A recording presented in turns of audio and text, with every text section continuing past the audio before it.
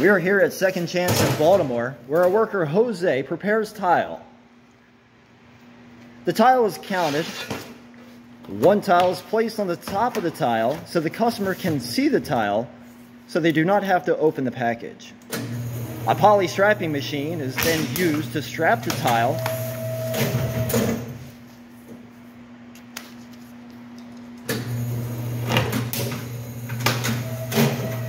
and once finished is placed on a pallet for customer purchase.